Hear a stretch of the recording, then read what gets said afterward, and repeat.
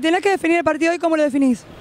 No, un partido duro, sabíamos de que, de que ellos también proponían un juego de, de mucho, mucha dinámica, pero bueno, eh, lamentablemente no se pudo conseguir los tres puntos, pero bueno, todavía en el tema de por entrar a la Copa Libertadores seguimos dependiendo de nosotros y el torneo mientras haya chance lo vamos a pelear.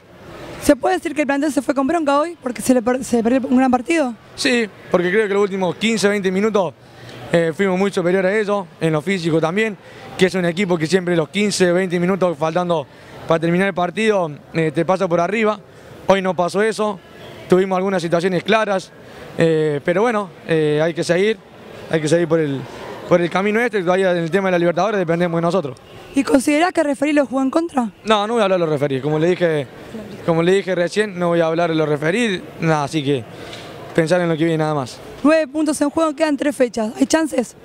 Sí, mientras, mientras los números eh, digan que tenemos posibilidades, lo vamos a pelear hasta el último. Gracias, León. No, de nada, hasta luego. Un partido muy, muy trabado, muy, muy duro, que creo que nos podríamos llevar algo más y por ahí el árbitro hubiese cobrado los penales que realmente hubo.